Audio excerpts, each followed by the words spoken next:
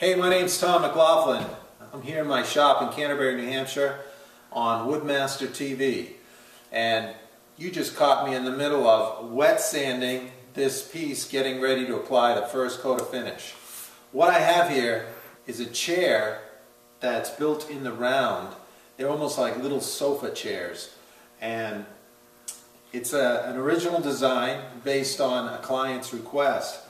But it's unlike anything I've ever shown any student over the past 12 years of teaching. What it has is solid mahogany curved legs that are sawn out. And this back is, is really the most unusual feature.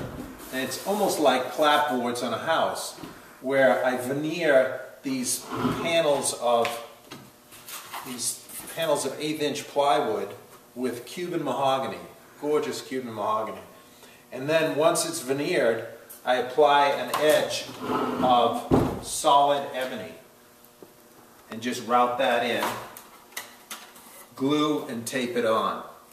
And then these are very carefully and precisely sawn and trimmed with a hand plane and clamped in place right across so they're layered up the chair as you go, starting from the bottom. Just to show you some of that mahogany, this is a piece that we had from the cutout. This, this Cuban mahogany is just gorgeous stuff. And it was this wide. It was 18, 20 inches wide.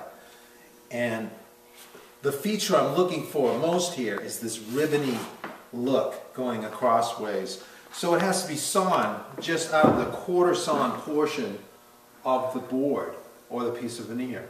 This center section you can see is more the plain sawn area where you get more of those swirling, that swirling figure.